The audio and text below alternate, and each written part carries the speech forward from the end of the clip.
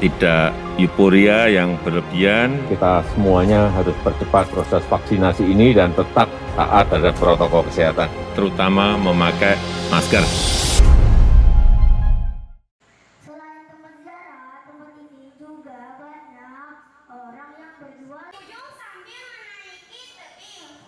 Berjual 17 anak tingkat SDMI mengikuti lomba bercerita dan dongeng yang diselenggarakan Dinas Perpustakaan dan Kearsipan Kabupaten Balangan di TK PAUD Alam Altamar Paring Selatan, Selasa 16 Agustus 2022. Memeriahkan HUT ke-77 Republik Indonesia, Kepala Dinas Perpustakaan dan Kearsipan Kabupaten Balangan, Haji Tamrin mengatakan bercerita ini dipilih untuk menjadi salah satu event untuk memeriahkan Hari Kemerdekaan Republik Indonesia.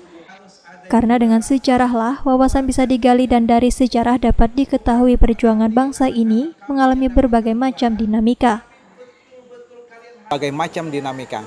Oleh karena itu, kami mengajak kepada seluruh elemen masyarakat, khususnya dunia pendidikan, mari sama-sama kita tularkan kemampuan bercerita kepada anak-anak ini sehingga beberapa cerita-cerita daerah, beberapa beberapa cerita-cerita lokal, beberapa cerita-cerita nasional itu bisa disampaikan pesannya kepada masyarakat Kabupaten Balangan.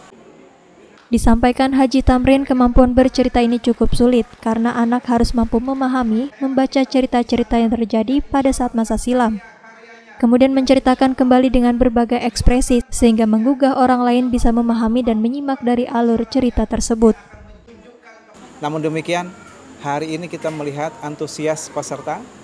Ini belasan peserta yang mengikuti pada hari ini ternyata telah siap dengan berbagai kostum-kostumnya kita lihat bersama-sama uh, tadi ada yang memakai pakaian adat Banjar, ada yang memakai pakaian apa namanya uh, dengan warna merah putih, ada yang memakai pakaian bagaimana uh, seseorang yang apa namanya menjadi uh, petani dan lain sebagainya. Ini menandakan bahwa uh, ekspresi anak-anak kita itu hari ini harus kita uh, salurkan dengan hal-hal Pihaknya dari Dinas Perpustakaan dan Kearsipan sangat mendukung upaya untuk meningkatkan peningkatan sumber daya manusia, salah satunya melalui literasi.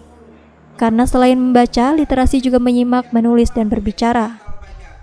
Berhadir dalam kegiatan Camat Paring Selatan, Reni Yudistesia, Ketua Yayasan Altamar Risalatun Nahdia Tamrin, Dewan Juri dan Bina Damping. Nadia dan juru kamera Masyita melaporkan untuk media center pemerintah Kabupaten Balangan.